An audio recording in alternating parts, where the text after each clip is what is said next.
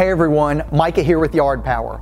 If you are in the market for a new zero turn mower, you need to come check out the all new Bad Boy mowers here at Yard Power. There is a reason Yard Power is one of the largest Bad Boy dealers in Louisiana.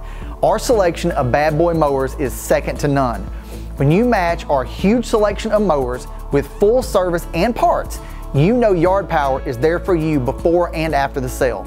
So come on down to Yard Power and see our huge selection of Bad Boy mowers.